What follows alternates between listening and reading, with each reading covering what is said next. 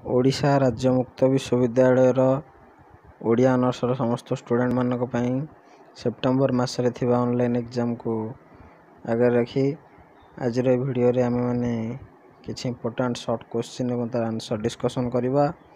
ତ ସମସ୍ତେ ଏହି ଭିଡ଼ିଓଟିକୁ ସମ୍ପୂର୍ଣ୍ଣ ଦେଖନ୍ତୁ ଚ୍ୟାନେଲକୁ ସବସ୍କ୍ରାଇବ୍ କରନ୍ତୁ ଏବଂ ଯେଉଁମାନେ ଓସୁରେ ପଢ଼ୁଛନ୍ତି ସେମାନଙ୍କୁ ଏ ଭିଡ଼ିଓଟି ସେୟାର କରନ୍ତୁ। ଆଜିର ଏ ଭିଡ଼ିଓରେ ଆମେମାନେ core paper three B A ଓଡ଼ି ଥ୍ରୀର ବ୍ଲକ୍ ଫୋର୍ ତା'ର ୟୁନିଟ୍ ଥ୍ରୀ ଯେଉଁଟାକି ସମସାମୟିକ ଅନ୍ୟାନ୍ୟ ସାହିତ୍ୟିକ ଅଛି। ସେଇ ଟପିକ୍ ଉପରେ ଥିବା ଇମ୍ପୋର୍ଟାଣ୍ଟ କୋଶ୍ଚିନ୍ ତା'ର ଆନ୍ସର୍ ଡିସ୍କସନ୍ କରିବା। ସମସ୍ତେ ଭିଡ଼ିଓକୁ ସମ୍ପୂର୍ଣ୍ଣ ଦେଖନ୍ତୁ ଚ୍ୟାନେଲକୁ ସବସ୍କ୍ରାଇବ୍ କରନ୍ତୁ। ତେବେ ଦେଖିବା ଆମେ ଆଲୋଚନା କରିବା ଆଜିର ଟପିକ୍ ଉପରେ। ସବୁଜ ସମସାମୟିକ ଅନ୍ୟାନ୍ୟ ସାହିତ୍ୟିକ ଥିଲେ। ଦେଖନ୍ତୁ ସବୁଜ ଓ ପ୍ରଗତି ସମସାମୟିକ ଅନେକ ସାହିତ୍ୟିକ ଲେଖନୀ ଧାରଣ ପୂର୍ବକ ଓଡ଼ିଆ ସାହିତ୍ୟକୁ ସମୃଦ୍ଧଶାଳୀ କରାଇଛନ୍ତି। ସେମାନଙ୍କ ସମ୍ପର୍କରେ ନିମ୍ନରେ ଆଲୋଚନା କରାଯାଇଛି। ଜଣେ ହେଉଛନ୍ତି କୁନ୍ତଳା କୁମାରୀ ସାବତ। ତାଙ୍କ ବିଷୟରେ ଦେଖନ୍ତୁ ସେ ଉଣେଇଶହ ମସିହାରେ ଜନ୍ମଗ୍ରହଣ କରିଥିଲେ ଉଣେଇଶହ ଅଠତିରିଶରେ ମୃତ୍ୟୁବରଣ କରିଥିଲେ। ତାଙ୍କ ବିଷୟରେ ଦେଖିବା।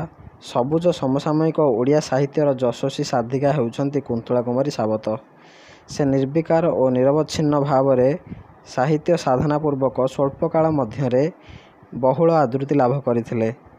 ତାଙ୍କ କାବ୍ୟ କବିତାର ଦୁଇଟି ବଳିଷ୍ଠ ଦିଗ ହେଉଛି ଜାତୀୟତାବାଦୀ ଚେତନା ଓ ଆଧିଭୌତିକତା। ତାଙ୍କ ସ୍ଫୁଲିଙ୍ଗ ଓ ଆହ୍ୱାନ କବିତାରେ ଦେଶାତ୍ମବୋଧର ଅଗ୍ନିଗର୍ଭୀ ବାଣୀ ଥିବା ସମୟରେ ତାଙ୍କ ଅଞ୍ଜଳି ଓ ଅର୍ଚ୍ଚନା କବିତାଗୁଚ୍ଛରେ ରହିଛି ବିଭୁପାଦ ପଦ୍ମ ତଳେ ଆତ୍ମସମର୍ପଣ କରିଦେବାର ଅଭିପ୍ସା। ସେ କେବଳ କବିତା ରଚନା ମଧ୍ୟରେ ମନୋନିବେଶ କରିନଥିଲେ ବରଂ ଅନେକ ଉପନ୍ୟାସ ରଚନା କରି ତାଙ୍କ ଗଦ୍ୟ ବ୍ୟକ୍ତିତ୍ୱର ମଧ୍ୟ ଆଭ୍ୟନ୍ତର ପରିଚୟ ପ୍ରଦାନ କରିଯାଇଛନ୍ତି। ତାଙ୍କ ଦ୍ୱାରା ରଚିତ ଉପନ୍ୟାସ ଗୁଡ଼ିକ ହେଉଛି ଭ୍ରାନ୍ତି କାଳୀବୋହୂ ରଘୁଅରକ୍ଷିତ ନଅତୁଣ୍ଡି ପରଶମଣି ଏହିସବୁ ସେ ରଚନା କରିଥିଲେ। ତ କୋଶ୍ଚିନ୍ ଆସିବ ସେ କେଉଁ ଉପନ୍ୟାସ ରଚନା କରିଥିଲେ? କୁନ୍ତଳା କୁମାରୀ ସାବତ ତ ଆନ୍ସର୍ ହେବ ଭ୍ରାନ୍ତି କାଳୀବୋହୂ ରଘୁଅରକ୍ଷିତ ନଅତୁଣ୍ଡି ପରଶମଣି ଇତ୍ୟାଦି କୁନ୍ତଳା କୁମାରୀ ସାବତ ଉପନ୍ୟାସ ରଚନା କରିଥିଲେ। ଏବଂ ଆସିବ ଆହ୍ୱାନ କବିତା କାହାର? ସ୍ଫୁଲିଙ୍ଗ କବିତା କାହାର ରଚନା? ଆନ୍ସର୍ ହେବ କୁନ୍ତଳା କୁମାରୀ ସାବତ। ତ କୁନ୍ତଳା କୁମାରୀ ସାବତ କ'ଣ ଲେଖିଥିଲେ ଆପଣମାନେ ଭଲସେ ମନେ ରଖିବେ? ଓକେ ଦେନ୍ ଦେଖିବା ନେକ୍ସଟ କବି କିଏ ଅଛନ୍ତି ସମସାମୟିକ କବି ତାଙ୍କ ଉପରେ ଦେଖିବା ଦେନ୍ ତ ସମସ୍ତେ କୁନ୍ତଳା କୁମାରୀଙ୍କ ସାବତଙ୍କ ବିଷୟରେ ଯାହା ଅଛି ପଢ଼ନ୍ତୁ ଭଲସେ। ତ ଯାହା ବି କୋଶ୍ଚିନ୍ ଆସିବ କେଉଁ ରଚନାଟି କୁନ୍ତଳା କୁମାରୀ ସାବତଙ୍କର? ଆପଣ ପଢ଼ିଥିଲେ ଲେଖିପାରିବେ। ଓକେ ତାପରେ ଦେଖିବା ପଦ୍ମଚରଣ ପଟ୍ଟନାୟକଙ୍କ ବିଷୟରେ। ସେ ଅଠରଶହ ପଞ୍ଚାଅଶୀ ମସିହାରେ ଜନ୍ମଗ୍ରହଣ କରି ଉଣେଇଶହ ଛପନ ମସିହାରେ ମୃତ୍ୟୁବରଣ କରିଥିଲେ। କବି ପଦ୍ମଚରଣ ପଟ୍ଟନାୟକ ଓଡ଼ିଆ ସାହିତ୍ୟର ଧୁରୀଣ କାବ୍ୟଶିଳ୍ପୀ। ସେ ସାହିତ୍ୟ ସାଧନା କରିବା ପୂର୍ବରୁ ଓଡ଼ିଆ ସାହିତ୍ୟରେ ରହିଥିଲା ସତ୍ୟବାଦୀ କାବ୍ୟଧାରା ଓ ସମକାଳରେ ଥିଲା ସବୁଜ ଚିନ୍ତାଧାରା। ତେଣୁ ଏହି ଉଭୟ କାବ୍ୟାଦର୍ଶର ସମନ୍ୱୟ ପରିଲକ୍ଷିତ ହୋଇଥାଏ ତାଙ୍କ ସାହିତ୍ୟ କୃତିରେ।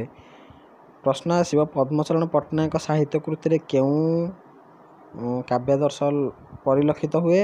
ଆନ୍ସର୍ ହେବ ସତ୍ୟବାଦୀ କାବ୍ୟଧାରା ଓ ସବୁଜ କାବ୍ୟ ଚିନ୍ତାଧାରା। ତେଣୁ ତୁଙ୍ଗ ଦେଶାତ୍ମବୋଧ ଚିନ୍ତାଧାରା ଉନ୍ନତ ମାନବବାଦୀ ଦୃଷ୍ଟିଭଙ୍ଗୀ।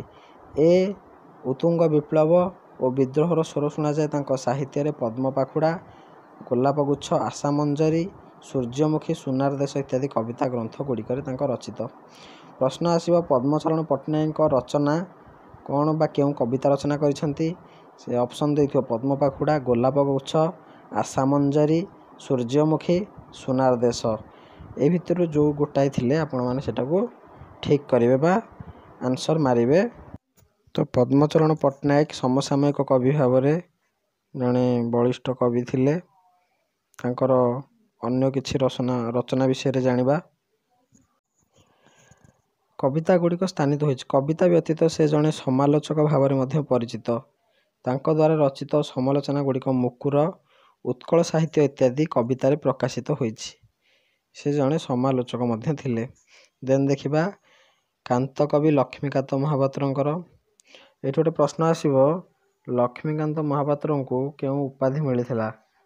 ଲକ୍ଷ୍ମୀକାନ୍ତ ମହାପାତ୍ରଙ୍କୁ କେଉଁ ଉପାଧି ମିଳିଥିଲା? ଏହାର ଆନ୍ସର ହେବ କାନ୍ତକବି। ସେ ଅଠରଶହ ଅଠାଅଶୀ ମସିହାରେ ଜନ୍ମଗ୍ରହଣ କରିଥିଲେ ଏବଂ ଉଣେଇଶହ ତେପନ ମସିହାରେ ତାଙ୍କର ମୃତ୍ୟୁ ହୋଇଥିଲା। ଲକ୍ଷ୍ମୀକାନ୍ତ ମହାପାତ୍ରଙ୍କର ସମକାଳରେ ଅନ୍ୟତମ ପ୍ରଥିତ ପଶା ସାରସ୍ୱତ ସ୍ରଷ୍ଟା ହେଉଛନ୍ତି କାନ୍ତକବି ଲକ୍ଷ୍ମୀକାନ୍ତ ମହାପାତ୍ର। ସେ ମଧ୍ୟ ଯୁଗ ସନ୍ଧିକ୍ଷେପଣର ସାହିତ୍ୟିକ ହୋଇଥିବା ଯୋଗୁଁ ତାଙ୍କ ରଚିତ ସାହିତ୍ୟ ମଧ୍ୟରେ ପୂର୍ବବର୍ତ୍ତୀ ଯୁଗ ଓ ସମସାମୟିକ ଯୁଗର ନାନାବିଧ ବୈଚିତ୍ର୍ୟ ପରିଲକ୍ଷିତ ହୋଇଥାଏ। ମୁଖ୍ୟତଃ ଜାତୀୟତାବୋଧ ଓ ଆଧିଭୌତିକ ଚେତନା ତାଙ୍କ କବିତାର ମହାର୍ଘ ବୈଶିଷ୍ଟ୍ୟ। ତାଙ୍କ ଦ୍ୱାରା ରଚିତ କବିତା ଗୁଡ଼ିକ ଜୀବନ ସଂଗାତ କବିତା ସଂକଳନ ମଧ୍ୟରେ ସନ୍ନିହିତ ହୋଇଅଛି। ସେ ଯେଉଁ କବିତା ଗୁଡ଼ିକ ଲେଖିଥିଲେ ତାହା ଜୀବନ ସଂଗାତ ଜୀବନ ସଙ୍ଗୀତ କବିତା ସଂକଳନରେ ସ୍ଥାନିତ ହୋଇଛି। ଏହା ବ୍ୟତୀତ ତାଙ୍କ ରଚିତ ସେ କ'ଣ ରଚନା କରିଥିଲେ? କଣା ମାମୁଁ ଉପନ୍ୟାସ ବୁଢ଼ା ଶଙ୍ଖାରୀ ଗଳ୍ପ ଓଡ଼ିଆ ପାଠକ ହୃଦୟରେ ଗଭୀର ଆପଣ ଜାଣିଥିବେ ବୁଢ଼ା ଶଙ୍ଖାରୀ ଗଳ୍ପ ଯେଉଁ ପଢ଼ିଛନ୍ତି ସେଟାକୁ ଲେଖିଥିଲେ କାନ୍ତକବି ଲକ୍ଷ୍ମୀକାନ୍ତ ମହାପାତ୍ର। ଏବଂ ଉପନ୍ୟାସରେ କଣା ମାମୁଁ ତାଙ୍କ ବିରଚିତ ବସନ୍ତ ବିଳାସ କାଳିୟ ଦଳନ ବ୍ରଜବର୍ଜନ ଚନ୍ଦ୍ରହାସ କର୍ଣ୍ଣ ଲକ୍ଷ୍ମୀ ଚଣ୍ଡାଳୁନୀ ବଂଶୀ ଶିକ୍ଷା ପ୍ରଭୃତି ଗୀତିନାଟ୍ୟ ଓଡ଼ିଆ ପାଠକ ତଥା ଦର୍ଶକ ମହଲକୁ ବେଶ ପ୍ରଭାବିତ କରିଛି।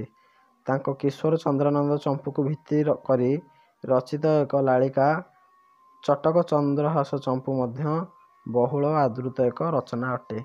କାନ୍ତକବି ଲକ୍ଷ୍ମୀକାନ୍ତ ମହାପାତ୍ରଙ୍କ ଏଗୁଡ଼ା ସବୁ। ରଚନା ତ କାନ୍ତକବି ଲକ୍ଷ୍ମୀକାନ୍ତ ମହାପାତ୍ର ଯେଉଁ ସବୁ ରଚନା କରିଛନ୍ତି ତାକୁ ନୋଟ୍ ଡାଉନ୍ କରନ୍ତୁ। ଯାହାଦ୍ୱାରା କି କିଛି ଇମ୍ପୋର୍ଟାଣ୍ଟ କୋଶ୍ଚିନ୍ ପାଇପାରିବେ। ତାପରେ ଦେଖିବା ଆଉ ଜଣେ ସମସାମୟିକ କବି ଡକ୍ଟର ମାୟାଧର ମାନସିଂଙ୍କ ବିଷୟରେ ଯିଏକି ଉଣେଇଶହ ପାଞ୍ଚ ମସିହାରେ ଜନ୍ମଗ୍ରହଣ କରିଥିଲେ ଏବଂ ଉଣେଇଶହ ତେସ୍ତରୀ ମସିହାରେ ମୃତ୍ୟୁବରଣ କରିଥିଲେ। ସବୁଜ ସମସାମୟିକ ଓଡ଼ିଆ ସାହିତ୍ୟରେ ଏକ ପ୍ରଚଣ୍ଡ ପ୍ରତିଭାର ଶିଳ୍ପୀ ହେଉଛନ୍ତି ମାୟାଧର ମାନସିଂ ପ୍ରଶ୍ନ ଆସିବ ଯେଉଁ କବିଙ୍କ ବିଷୟରେ ସବୁ ଆଲୋଚନା କରୁଛେ ପଚାରିଦେବ ଏଇ କବି। ମନେକର ପଚାରିବ ଡକ୍ଟର ମାୟାଧର ମାନସିଂ ଇଏ କେଉଁ ଯୁଗର କବି? ଆନ୍ସର୍ ହେବ ସବୁଜ ସମସାମୟିକ କବି ବା ପ୍ରଗତିବାଦୀ ସମସାମୟିକ କବି। ଆନ୍ସର୍ ହେବ ହେଲା ସମସାମୟିକ କବି। ସମକାଳୀନ ସବୁଜ ସାହିତ୍ୟରେ ନିହିତ ପ୍ରେମ ଓ ପ୍ରଣୟପୂର୍ଣ୍ଣ ଅନେକ କବିତା ରଚନା କରିଥିଲେ ମଧ୍ୟ ସେ ସବୁଜ ଗୋଷ୍ଠୀ ମଧ୍ୟରେ ଆପଣାକୁ ଅନ୍ତର୍ଭୁକ୍ତ କରିନାହାନ୍ତି। ଏ ସବୁଜ ଯୁଗରେ ନାହାନ୍ତି ଏ ପ୍ରଗତିବାଦୀ ଯୁଗ। ତାଙ୍କ କବିତା ଗୁଡ଼ିକ ମଧ୍ୟ ରୋମାଣ୍ଟିକ୍ କାବ୍ୟର ଆଦର୍ଶ ପରିଲକ୍ଷିତ ହେବା ସଙ୍ଗେ ସଙ୍ଗେ ବାସ୍ତବବାଦୀ ମାନବବାଦୀ ଆଧିଭୌତିକ ଦୃଷ୍ଟିଭଙ୍ଗୀ ଅନୁଭୂତ ହୋଇଥାଏ।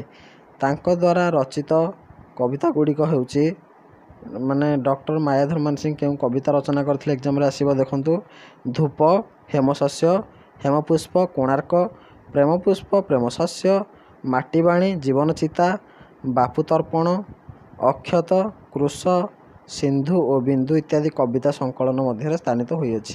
ତ ଏହିସବୁ କବିତା ମାୟାଧର ମାନସିଂଙ୍କ ଦ୍ୱାରା ରଚନା ହୋଇଛି। କେବଳ କବିତା ନୁହେଁ କାବ୍ୟ ରଚନା କ୍ଷେତ୍ରରେ ମଧ୍ୟ କବି ମାୟାଧର ମାନସିଂ ମନୋନିବେଶନ ପୂର୍ବକ ସଫଳତା ହାସଲ କରିଛନ୍ତି। ତାଙ୍କ ଉପେକ୍ଷିତା ନିକଣ୍ଠ ଶୁଭଦୃଷ୍ଟି ସାଧବ ଝିଅ ଜେମା ଓ କମଳା ନୟନ ତାଙ୍କ ରଚିତ କାବ୍ୟ ସମୂହ ପ୍ରଶ୍ନ ଆସିବ କେଉଁ କାବ୍ୟ ସବୁ ରଚନା କରିଥିଲେ ମାୟାଧର ମାନସିଂ ନା ଉପେକ୍ଷିତା ନିକଣ୍ଠ ଶୁଭଦର୍ଶୀ ସାଧବ ଝିଅ ଜେମା କମଳାୟନ? ଏତଦ୍ ବ୍ୟତୀତ ରାଜକବି ପୁଷ୍ପିତା ପୂଜାରିଣୀ ନଷ୍ଟନୀଚ ବାରବାଟୀ ବୁଦ୍ଧ ଏସବୁ ରଚନା ସେ କରିଛନ୍ତି କ'ଣ? ତାଙ୍କର କବି ପ୍ରତିଭାର ପରିଚୟ ଦେଉଛି ଗଦ୍ୟ ସ୍ରଷ୍ଟା ଭାବରେ ଡକ୍ଟର ମାୟାଧର ମାନସିଂ ବିଶେଷ ଖ୍ୟାତି ଲାଭ କରିଛନ୍ତି। ତାଙ୍କ ରଚିତ କବି ଓ କବିତା ଜୀବନପଥ ଓଡ଼ିଆ ସମାଜ ସାହିତ୍ୟ ଶିକ୍ଷା ଏସବୁ ବିଭିନ୍ନ ସବୁ ମାୟାଧର ମାନସିଂଙ୍କର ରଚନା ଅଟେ। ତ ଆପଣମାନେ ସବୁ କ'ଣ ରଚନା କରିଛନ୍ତି ମନେ ରଖିବେ? ତ ମୁଁ ଏକ୍ଜାମ୍ ରିଲେଟେଡ଼୍ କିଛି ଷ୍ଟଡ଼ି ଟିପ୍ସ ଆପଣମାନେ କେମିତି ସଫଳତା ପାଇପାରିବେ ଅନଲାଇନ୍ ଏକ୍ଜାମ୍ରେ ତା ଉପରେ ଗୋଟେ ଭିଡ଼ିଓ ବନେଇବି ସେଇଟା ସମସ୍ତେ ଦେଖିବେ। ତ ଚ୍ୟାନେଲ୍ ସହିତ ଲିଙ୍କ୍ ରୁହନ୍ତୁ। ତେବେ ଆଉ ଜଣେ କବି ଦେଖିବା ସମସାମୟିକ କବି ରାଧାମୋହନ ଗଡ଼ନାୟକ ଯିଏକି ଉଣେଇଶହ ଏକାନବେରେ ଜନ୍ମଗ୍ରହଣ କରିଥିଲେ ଏ ସରି ଏଇଟା ଟିକେ ମିଷ୍ଟେକ୍ ଅଛି ମୁଁ ଆପଣମାନଙ୍କୁ ଏଇଟା ଜଣେଇବି ତାଙ୍କ ବିଷୟରେ। ସମକାଳର ଅନ୍ୟତମ ଧୃରୀଣ ସ୍ରଷ୍ଟା ହେଉଛନ୍ତି ରାଧାମୋହନ ଗଡ଼ନାୟକ କବି ରାଧାମୋହନ ଗଡ଼ନାୟକ ଛାତ୍ର ଜୀବନରୁ କବିତା ରଚନା କରିବା ଅୟମ ଆରମ୍ଭ କରିଥିଲେ। ତେଣୁ ଉତ୍ତର ଜୀବନରେ ସେ ଏକ ପରିପକ୍ୱ ସାହିତ୍ୟ ସ୍ରଷ୍ଟାର ଗୌରବ ଅର୍ଜନ କରିଥିଲେ। ତାଙ୍କ ଦ୍ୱାରା ରଚିତ କବିତା ଗୁଡ଼ିକ ମଧ୍ୟ ଅନନ୍ୟ ଓ ବୈଚିତ୍ର୍ୟପୂର୍ଣ୍ଣ।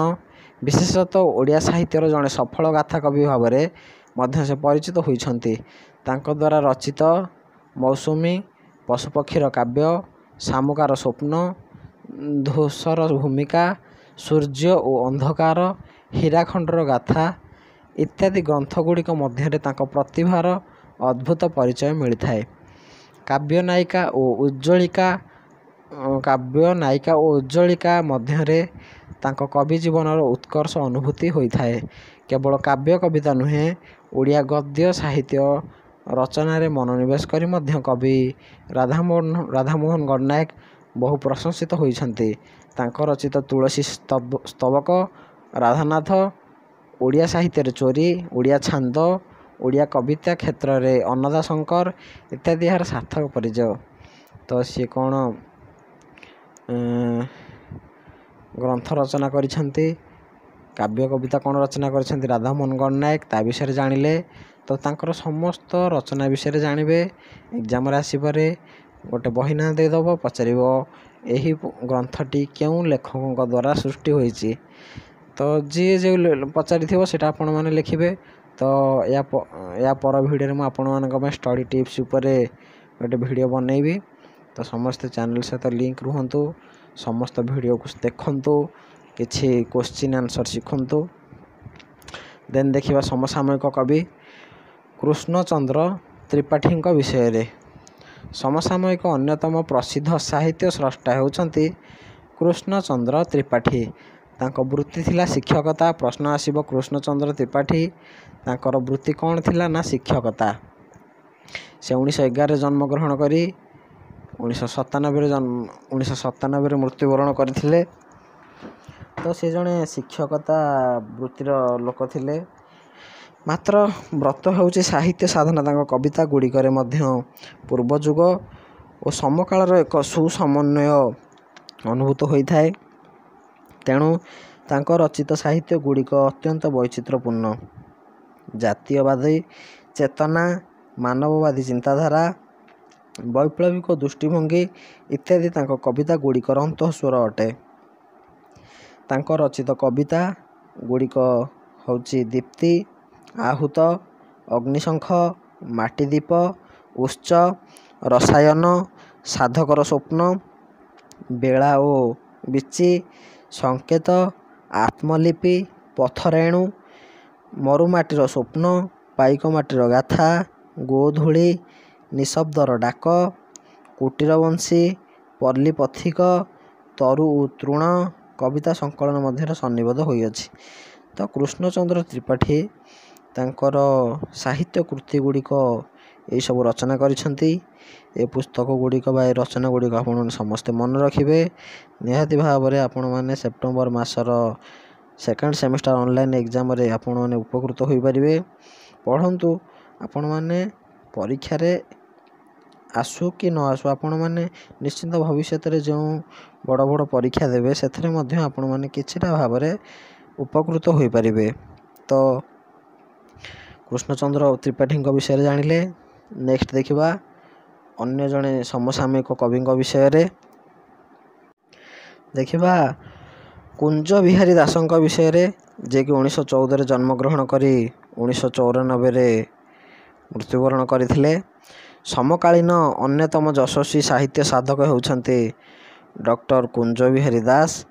ସେ କାବ୍ୟ, କବିତା, ଗଳ୍ପ, ଉପନ୍ୟାସ, ପ୍ରବନ୍ଧ, ସମାଲୋଚନା, ଆତ୍ମଜୀବନୀ, ଭ୍ରମଣ କାହାଣୀ ଇତ୍ୟାଦିରେ ଲେଖନୀ ଚାଳନା ପୂର୍ବକ ବହୁଳ ଆଦୃତି ଲାଭ କରିଛନ୍ତି। ସେ ଏହିସବୁ ବିଷୟରେ ସବୁ ରଚନା କରିଛନ୍ତି କିଏ କୁଞ୍ଜ ବିହାରୀ ଦାସ।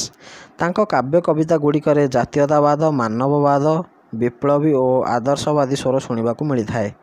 ତାଙ୍କ ଅମୃତ ଲିଖନୀ ନିଃସୃତ ସାରସ୍ୱତ କୃତି ଗୁଡ଼ିକ ହେଉଛି ଏଇଠି ଆସିବ କୁଞ୍ଜ ବିହାରୀ ଦାସ ତାଙ୍କର ସାହିତ୍ୟ କୃତି ବା ରଚନା କ'ଣ ଦେଖନ୍ତୁ ମନେ ରଖନ୍ତୁ ଛିନ୍ନହସ୍ତା, ପ୍ରଭାତୀ, ବୀରଶ୍ରୀ, ନବମାଳିକା, ମାଟି ଓ ଲାଠି, କଙ୍କାଳର ଲୁହ, ସେ ଏକ ଲୋମଶ ନୀଳ ହାତୀ, କଳକଲ୍ଲୋଳ, ଡୁଡୁମା, ବାଗ୍ରା, ଅପରାହ୍ନରେ କେତୋଟି ସ୍ୱର ଇତ୍ୟାଦି କବିତା ଗୁଚ୍ଛ।